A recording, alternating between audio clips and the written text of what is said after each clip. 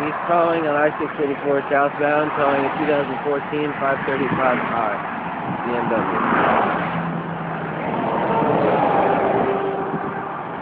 I tell you, he towed a 2013 535i.